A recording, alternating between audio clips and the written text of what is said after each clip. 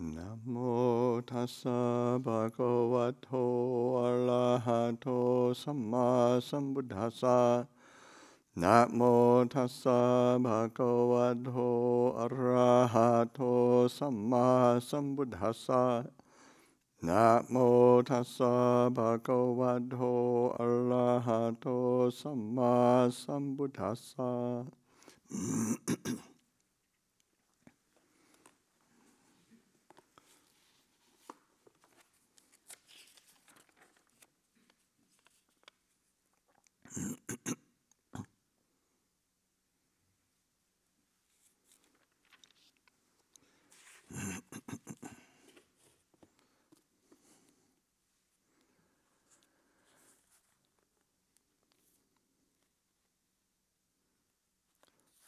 Okay, so yesterday we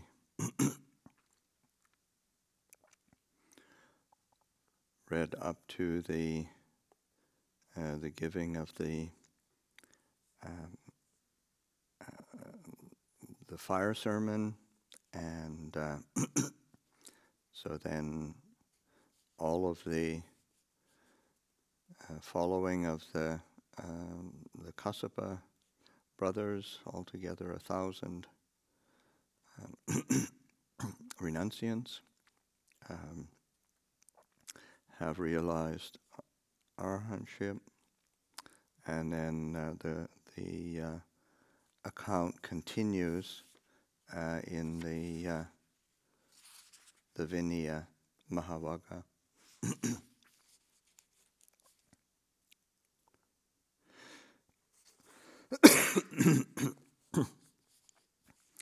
now, when the Blessed One had lived at Gaya Sisa as long as he chose, he set out to wander by stages to Rajagaha with a large following of bhikkhus, with a thousand with a thousand bhikkhus, with all the former matted hair ascetics. Wandering by stages, he at length reached Rajagaha and there he stayed in the sapling grove at the Supatita shrine.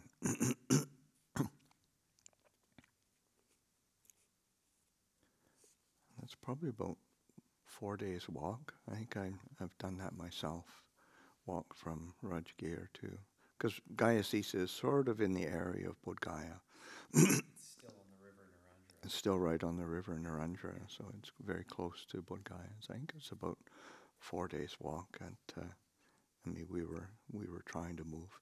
two hour, two and a half hour bus ride. Okay. Seniya Bimbisara, king of Magadha, heard. It seems that the monk Gotama, the son of the Sakyans, who went forth into homelessness from a Sakyan clan, has come to Rajagaha and is living in the sapling grove of the Supatita shrine. now, the good name of Master Gotama has been spread thus The Blessed One is such, since he is accomplished, fully enlightened, perfect in knowledge and conduct, sublime, the knower of worlds, the incomparable leader of men to be tamed, the teacher of gods and humans, enlightened, blessed, he makes known this world with its deities, its maras, and its divinities, this generation with its monks and Brahmins, with its princes and humans, which he has, which he himself, which he has himself realized through direct knowledge. He teaches the Dhamma that is good in the beginning, good in the middle, and good in the end, with the meaning and the letter, and he explains a holy life that is utterly perfect and pure. It is good to go and see such accomplished ones. then, accompanied by 12 hosts, by a 120,000 of Magadhan Brahman ho- householders, Seniya Bimbisara, king of Magadha, went to the Blessed One, and after paying homage to him, he sat down at one side. But of the twelve hosts of Brahmin householders, some paid homage to the Blessed One and sat down to one side. Some exchanged greetings with him, and when this courteous and formal talk was finished, sat down at one side. Some raised their, ha- their hands, palms together in salutation to the Blessed One, and sat down at one side.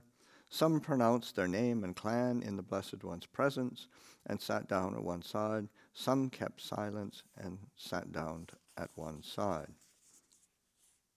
So the whole array of different kinds of respect and reverence or uh, how do you say indifference or or lack of actual interest. They wondered, does the great monk lead the holy life under Uruvela Kassapa, or does Uruvela Kassapa lead the holy life under the great monk? but the Blessed One became aware in his mind of the thought in their minds, and he addressed the Venerable Uruvela Kassapa in stanzas. What did he see, the lean teacher who dwells at Uruvela, that he left the fires? I ask of you this question, Kassapa. How did you come to leave fire worshipping? Sights and sounds and tastes and concubines are the rewards promised for sacrifice. Of worldly things I saw they are a stain. Then worship and sacrifice gave joy no more. And then the blessed one. But if your heart finds no delight in these, Kassapa, said the Blessed One, in sights and sounds, even in tastes as well, what then delights your heart here in this world of gods and humans, Kassapa? Tell me that.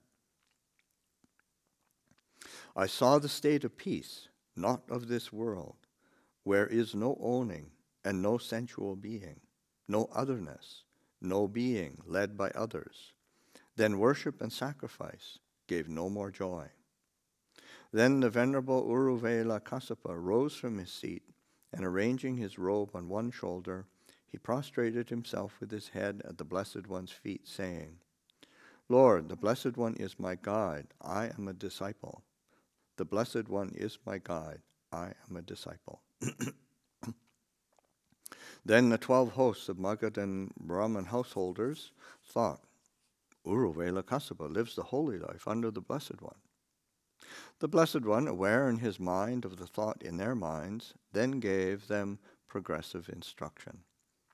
At length, the spotless, immaculate vision of the Dhamma arose then and there in eleven of the twelve hosts of the Magadhan Brahman householders. All that is subject to arising is subject to cessation. And one host became adherent. Then Seniya Bimbisara, king of Magadha, saw and reached and found and penetrated the Dhamma. He left uncertainty behind him. His doubts vanished he acquired perfect confidence and he became independent of others in the teacher's dispensation. He said to the Blessed One, Lord, once when I was a boy, I made five aspirations. Now they are fulfilled. Once when I was a boy, I thought, if only I might be anointed on a throne. That was the first aspiration I made, and it has been fulfilled. The second was, if only I might encounter during my life a fully enlightened arahant, and that has been fulfilled. The third was, if only I might be able to do honor to that blessed one, and that has been fulfilled. The fourth was, if only the blessed one would teach me the Dhamma, and that has been fulfilled. The fifth was, if only I might understand the blessed one's Dhamma and that too has been fulfilled. Magnificent Lord, magnificent. The Dhamma has been made clear in many ways. Lord, let the Blessed One receive me as his follower who has gone to him for refuge for as long as breath lasts. Now, Lord, let the Blessed One, together with the Sangha bhikkhus, accept tomorrow's meal from me. The Blessed One accepted in silence. When the king saw that he had consented, he rose from his seat, and after paying homage to him, he departed, keeping him on his right. then, when the night was ended, he had good food of various kinds prepared, and he had the time announced. It is time, Lord, the meal is ready. Since it was now morning, the Blessed One dressed, and taking his bowl and outer robe, he went into Rajagaha with a large following of bhikkhus. With a thousand bhikkhus, with all the former matted hair ascetics. Now, as they went, Sakka, ruler of gods, assumed the form of a Brahman youth, and he stood before the Blessed One with his hands ra- raised palms together, facing the Sangha, headed by the Blessed One, singing these stanzas.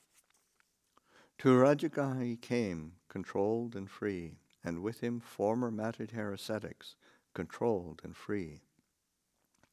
Bright as a golden jewel, the Blessed One went into Rajagaha. To Rajagaha he, he came, quieted and free. To Rajagaha he came, released and free.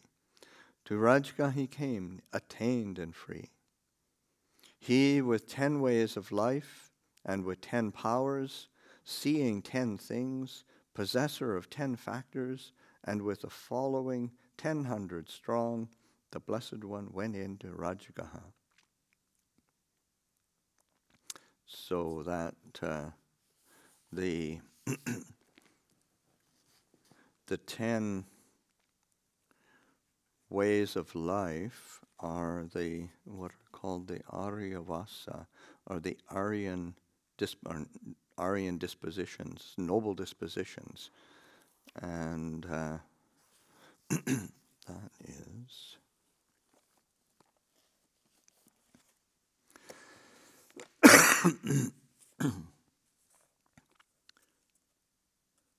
and that uh, is got rid of here, a monk has got rid of five factors. What is that? Let me.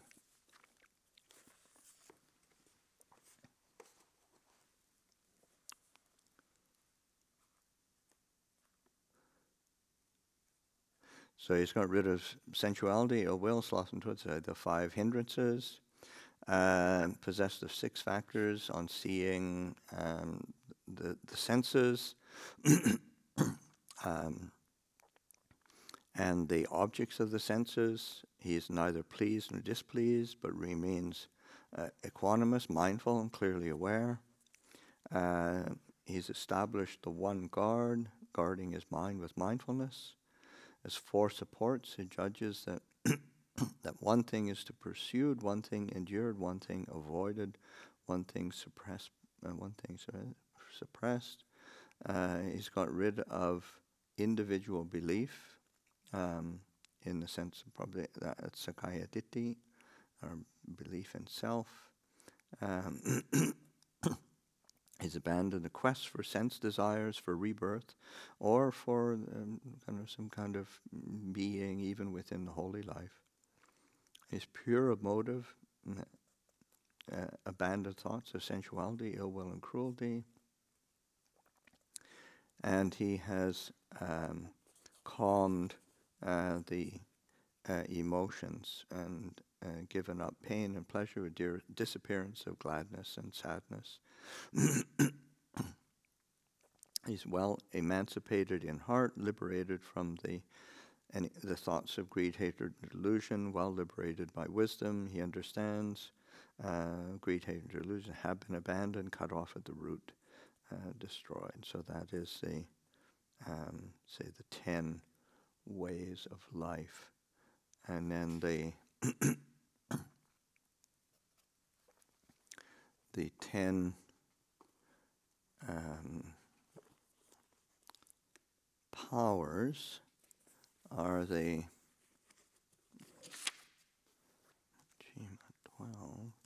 the ten powers of of the uh, of the Tathagata.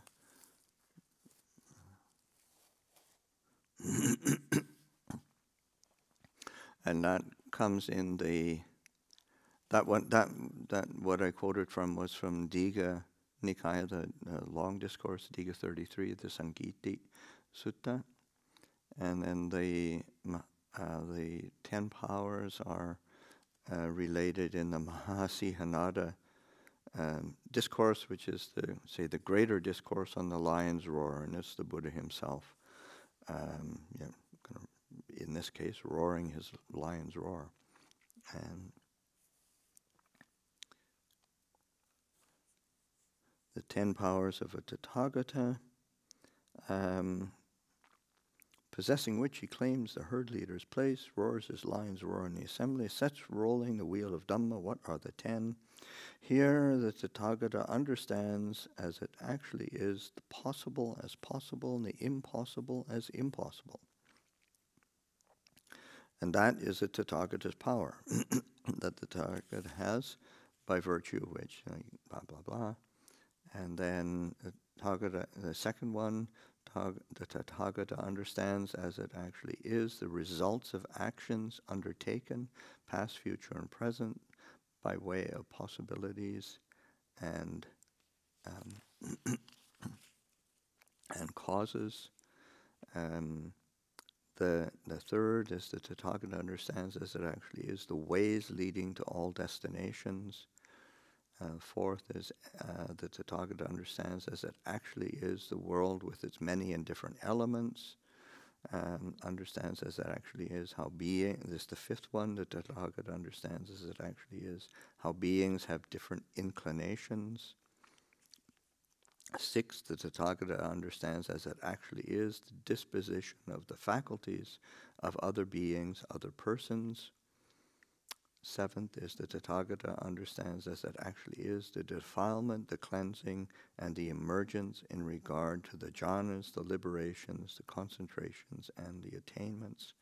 the eighth, uh, the Tathagata recollects, recollects his manifold past lives. Uh, that's stock phrases, that is one birth, two births. And uh, thus, with their aspects and particulars, he recollects his manifold past lives. And the ninth is divine eye, purified and surpassing the human, sees beings passing away and reappearing, inferior and superior. He understands how beings pass on according to their actions. The tenth, uh, by realizing for himself with direct knowledge that Tathagata here and now enters upon and abides in the deliverance of mind and deliverance by wisdom that are taintless with the destruction of the taints. So that and that uh, that so that's in Majjhima 12, and uh, um, they're all. Uh, um, if anybody wants to look those up and, and see the uh, um, explanations on that, it's in the each one has a footnote so that they can be explained. I won't go go into all of it and then the ten powers, and then seeing ten things are the ten kinds of wholesome action and the ten kinds of unwholesome action, so that the uh, um,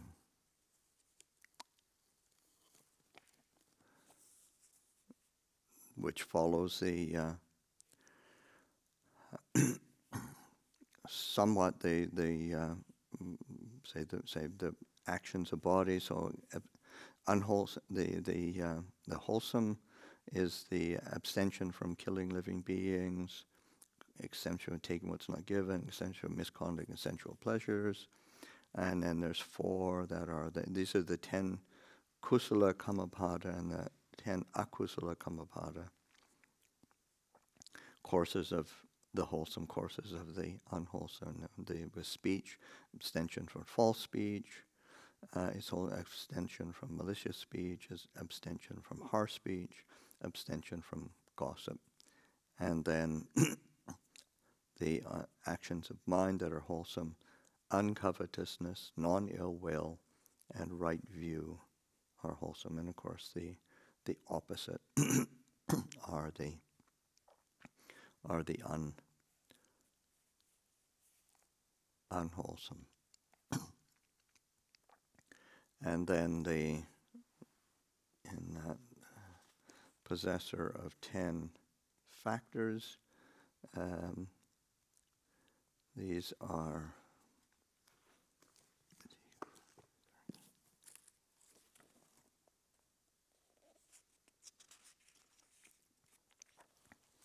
this the ten factors are, are what are called the ten qualities of the aseka, the the one who is beyond training or the uh, non-learner. This is somebody who is a uh, well, it was a, uh, an arahant, the ad, adept and beyond the training, and that's uh, it's the eightfold path: uh, right view, right thought, right speech, right action, right livelihood, right effort, right mindfulness, right concentration, and then right knowledge and right liberation, samma jnana and samma vimutti. Uh, so those are the what this verse is re- referring to. It's kind of obscure. Um, in two little sentences, uh, that's is packed it in with uh, all sorts of stuff. So that uh, so then it's this. when people saw Sakka, ruler of gods, they said, "The young Brahman is, is is handsome, beautiful, and graceful. Who is he?" When this was said, he addressed them in stanzas. He is a saint, controlled, always and purified, without a peer, in all the world, sublime, accomplished, and I am one that follows him. Then the Blessed One went to King Bimbisara's dwelling, and he sat down on a seat made ready, surrounded by the Sangha bhikkhus. With his own hands, the king served and satisfied the Sangha headed by the Buddha. When the Blessed One had eaten and no longer had the bowl in his hand, the king sat down at one side. when he had done so, he thought, Where could the Blessed One live that is neither too far from town nor too near, with a way in and a way out, accessible to people who seek him, unfrequented by day and quiet by night, undisturbed by voices? with an atmosphere of aloofness, where one can lie hidden from people, favorable for retreat. Then he thought, This park of ours, the bamboo grove, has all these qualities. Suppose I pre- present the bamboo grove to the Sangha headed by the Buddha. then he took a gold jug and he dedicated the bamboo grove to the Blessed One with the washing of hands, saying, Lord, I give this bamboo grove to the Sangha bhikkhus headed by the Buddha. The Blessed One accepted the park. Then, when he had, in, had instructed, incited, roused, encouraged Seniya Bimbisara, king of Magadha, with talk on the Dhamma, he rose from his seat and departed. and this as a uh, the offering of the the bamboo grove was the first. Um, that that is the first, say, place for uh, residents of the of the sangha that was was was formally offered, and then the the King Bimbisara's pouring of water as a as dedication is I it's probably an ancient Indian custom, but it's also the example given for the tradition of water pouring as a symbol for the dedication of merit uh, up until this day. It's sort of that's a like a, a transferring of uh, blessings, a transferring of, uh, of, of merit, and so it's it's that's what's cited uh, uh, in Buddhist culture and tradition as a as a uh, precedent or as an example. so that's the end of that particular section, and it goes on. The next chapter is on the two chief disciples. Does anybody have any questions at this point?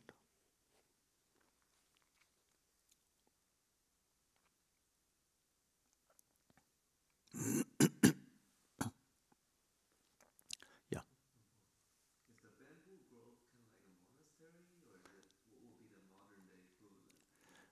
Well, it uh, it was a say a place where they I, I don't there's no record of of King Bimbisara offering like he offered the land but there's no record of of him offering dwelling place. Of course, it turned into a monastery after, uh, and and there's say to this day there are say at the at the bamboo grove there's excavations of the uh, uh, residences and dwellings, but there's no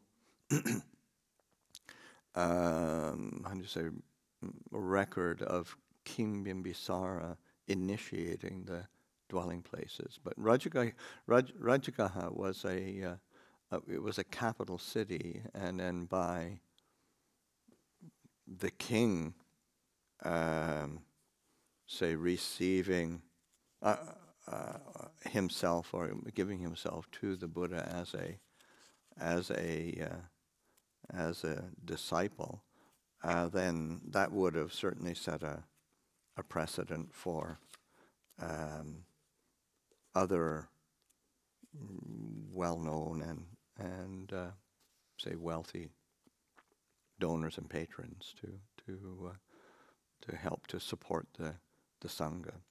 Uh, I say as opposed to uh,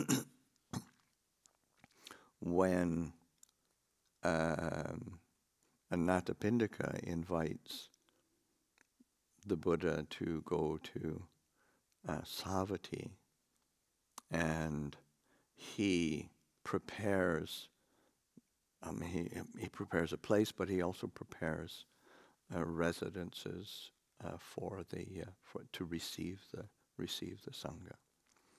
Um, but certainly, it it it's a uh, yeah. To this day, it is a uh, um, uh, the the the the remnants of the monastery are still visible. It's a, there's a park and there's places where there's excavations and showing where the old uh, buildings uh, would have been. It's outside of it's outside of old Rajagaha and, out, and outside of new Raj, Rajgir, uh, which are close by. Do you remember what what I can't. I haven't got a clear memory of of uh, what excavations are there. Um, it's mostly the brick, which they say usually isn't from the time of the Buddha, mm-hmm. but uh, second century AD. But um, I know there's like big bathing ponds, and we found where the wells are. It's also where the first rodeo lot of Hadimoto were sighted. It's uh, just a historical um, site in the Buddha never spent Ponsa there, but he had he had Sarakuta to look after it or something. So, so it was definitely a monastery. Yeah. And I think they had kutis, but I'm not sure if that's in the sutras and commentaries. Yeah, and certainly Raj, Rajagaha was a, a, a, place that, say, the Buddha and the Sangha were always rotating in and out of. Was a capital, capital of one of the larger kingdoms in in, northern India at the time, comparable to, if not larger than, than uh, uh,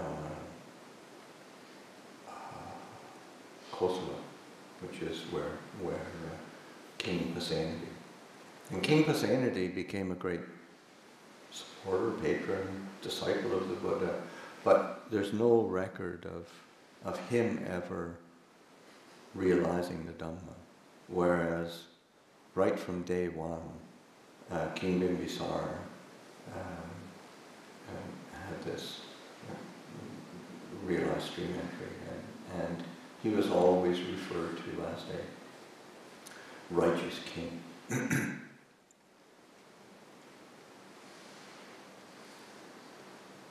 Is there a precedence in the suttas or for uh, a similar system of training where like uh, a monk will stay at a training monastery for some time and go out for go out into the woods or somewhere more remote for some time and then come back.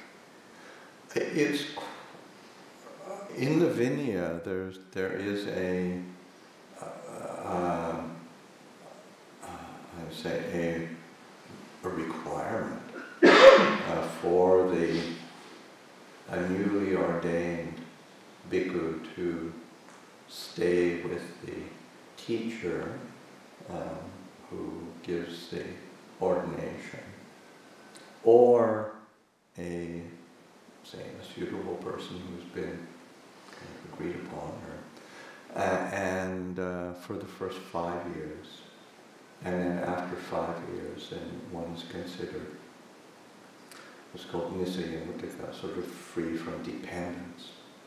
But that can be um, uh, if the person, if the, the bhikkhu is not very well behaved, not very well trained, then uh, then he's he is um, required to stay in, in say under dependence until until the the teacher uh, feels confident in his in his training. So the Buddha laid out a, quite a clear system of training, uh, and it wasn't so much tied to a place as opposed to to the the teachers and the preceptors, um, and to for them to take responsibility for for the for that training, and uh, of course over time then then one even in Buddha's time the, the uh, um, actual places of practice began to become more stable. Uh, there was a lot more wandering and, and uh, uh, more fluidity in the early days, but even in, during the, the, the, time of the Buddha, uh, then he would, where you spent 19 years in Savatthi? Savatthi was, yeah, I believe 19 years. At the Jeta Grove, and then and then even in Sa- well at the Jeta's Grove, and then he did. I think he spent some of the at least one or two years at the uh, the Palace of Migara's mother, which is another another monastery that was established in Savatthi. Yeah, and then at Rajagaha, he lived at Vulture's Peak, Vulture's Peak for five years. Mm, yeah, yeah, which is is a probably uh, it's kind of the puja gong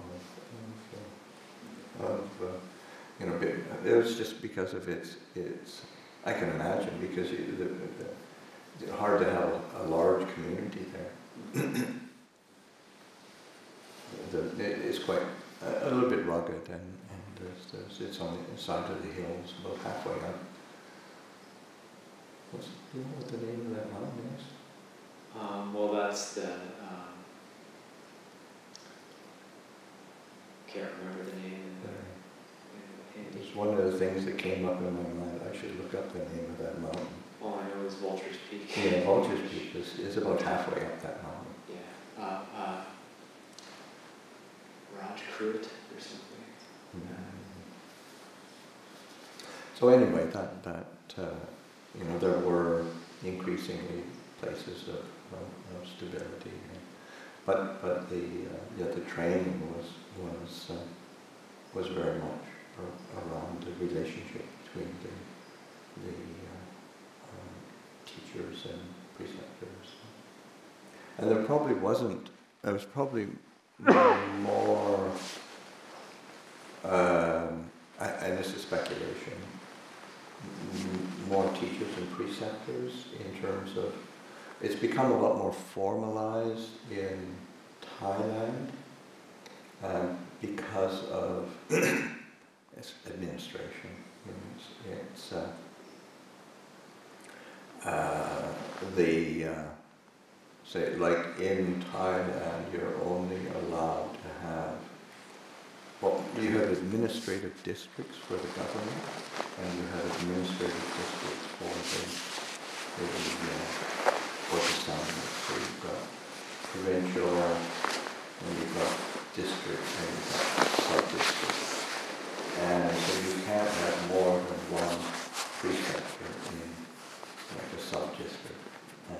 And It's usually a collection of about 12, 10 to 20 villages. Uh, so preceptor. Uh, and that preceptor is, is supposed to be responsible for the ordination and the, the, uh, uh, the training. Doesn't really happen that's supposed to be, so that, um, uh, and, and if a monk, then you have to carry your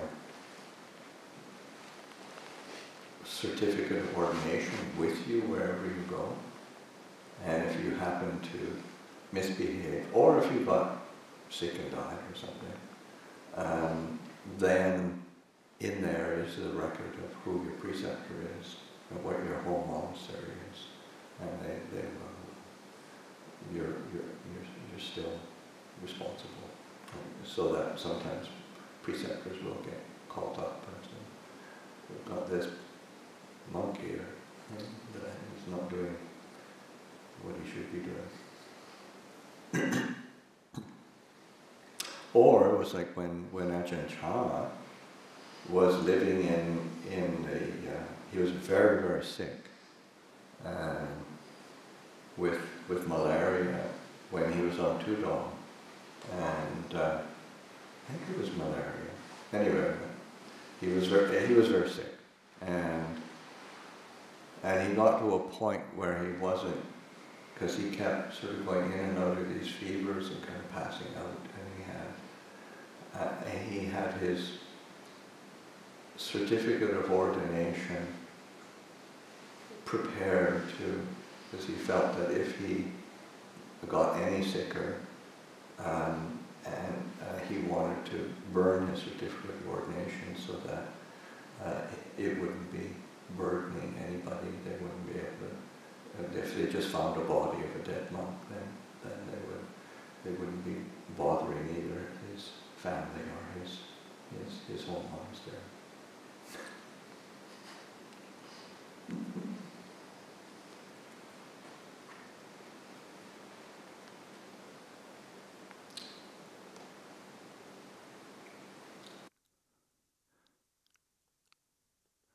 Okay. We've got a whole new chapter to start next day, so we'll start. It's 25, 24 after. We'll leave it till tomorrow.